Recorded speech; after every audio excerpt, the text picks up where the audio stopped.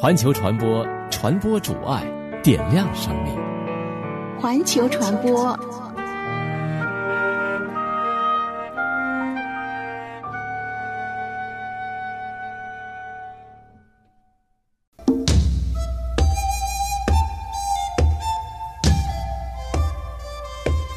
同唱一首歌。在听节目的朋友，很高兴又和您相聚在《同唱一首歌》这个单元节目。今天要介绍的这首赞美诗，首先来听一听，那就是《良善天赋》。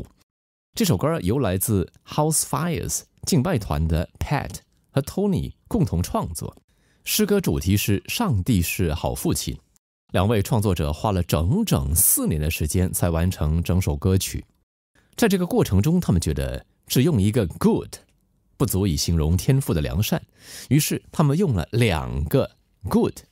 他们在歌中对天赋说：“You are a good, good father。”下边我们听到的是来自约书亚乐团翻唱的中文版本的《良善天赋》。我曾听无数人在述说你。是怎样的神？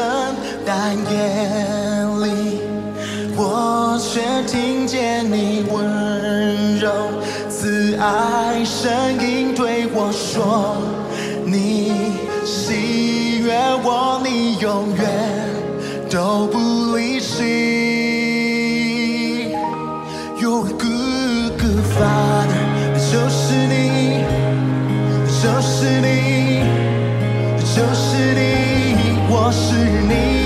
你所爱，就是我，你就是我，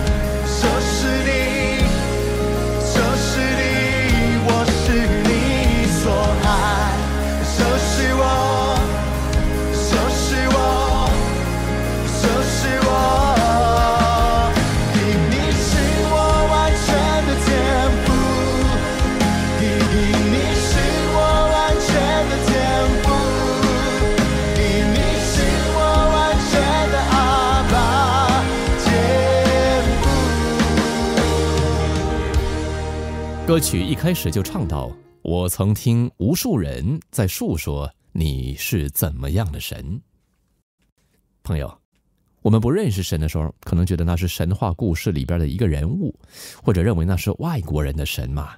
反正神跟自己没有什么关系。当然，也有一些人在听说过神的事之后，有一天就像歌中唱的：“但夜里我却听见你温柔慈爱声音对我说。”你喜悦我，你永远都不离弃。哇！从此呢，这位神就与他们有关系了。神成了他们的神，成了他们的天赋。我的一位好友分享了自己和天赋的故事，让我们一起来听听。从小，我最敬仰的人就是我的父亲，因为父亲对我们几个孩子都非常疼爱，而且无论在怎么的艰苦环境下。父亲都那么样的乐观开朗，爸爸的这种品格一直影响着我。在我的成长过程中，我时常都是乐观积极的面对各种人和事。但后来发生了一件事，我几乎被击垮了。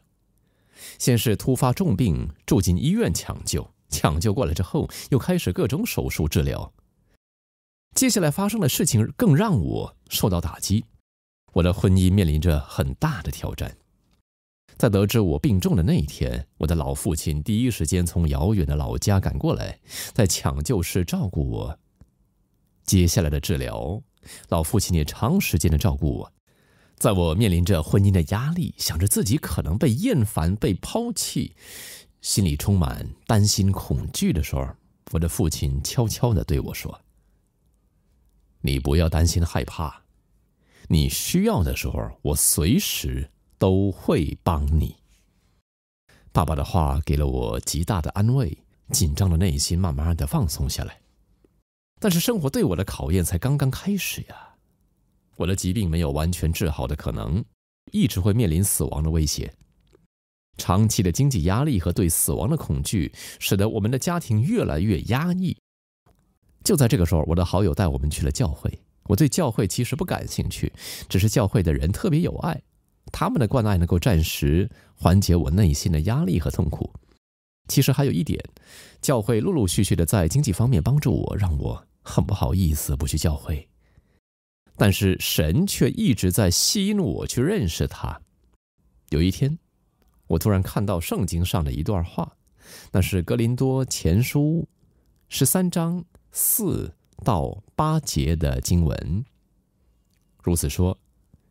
爱是恒久忍耐，又有恩慈；爱是不嫉妒，爱是不自夸，不张狂，不做害羞的事，不求自己的益处，不轻易发怒，不计算人的恶，不喜欢不义，只喜欢真理。凡事包容，凡事相信，凡事盼望，凡事忍耐。爱是永不止息。看着这些经文，我忍不住眼泪流出来，内心有个声音在呼喊：“我要这样的爱，我也希望能给出这样的爱。我要受洗，我要成为基督徒。”后来我真的很快就受洗了。真正的改变是在教会的门徒训练之后。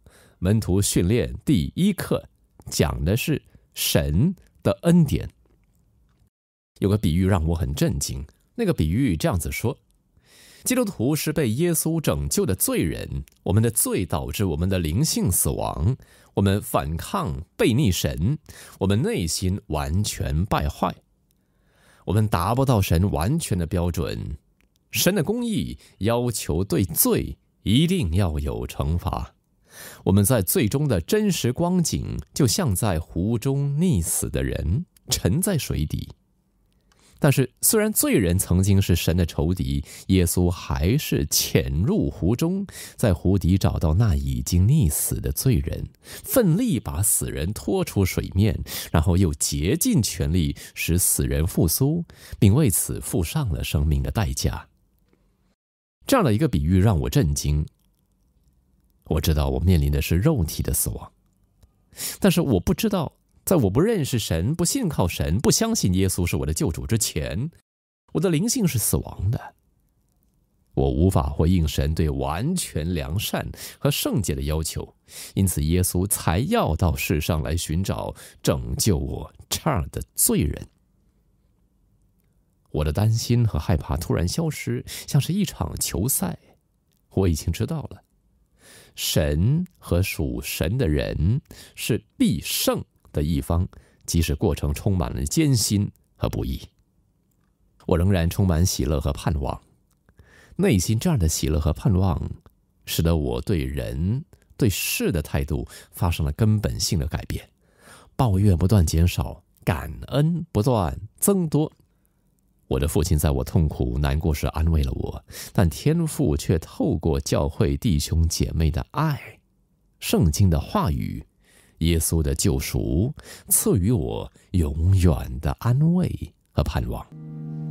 你的爱实在太过奇妙，是我无法说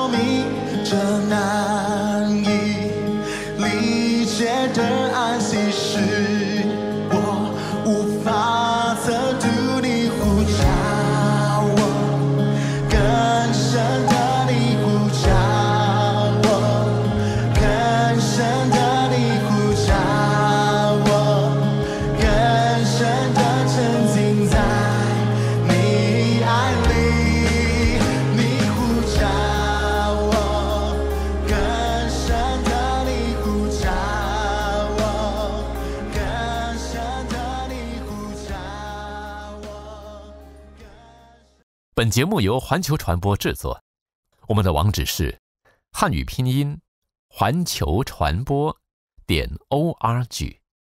盼望您将节目转发出去，祝福更多家人朋友。